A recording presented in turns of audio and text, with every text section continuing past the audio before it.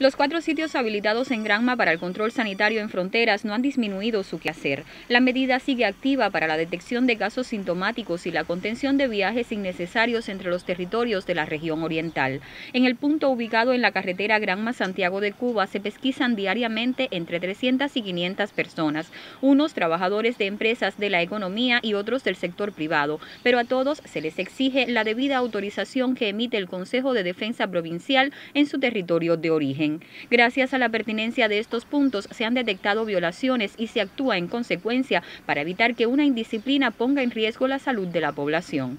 Hemos sido muy estrictos con estas personas que vienen en, la transportación, que no tiene nada que ver con la empresa y en estos casos se multa al chofer porque todos saben aquí que no pueden estar trasladando personas que no tengan nada que ver con su trabajo.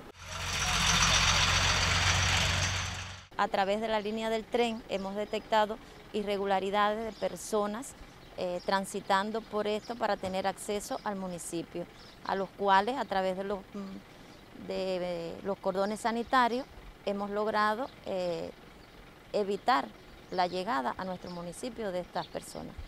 Para que no se evada lo establecido, se han reforzado las medidas en otras zonas, por ejemplo en la comunidad de Dos Ríos que une a Jiguaní con el municipio holguinero de San Germán. Lejos de confiarnos, hay que ser más celosos en el control y la vigilancia epidemiológica. Eso también es pensar como país. En Gran Macatiusca León, Sistema Informativo de la Televisión Cubana.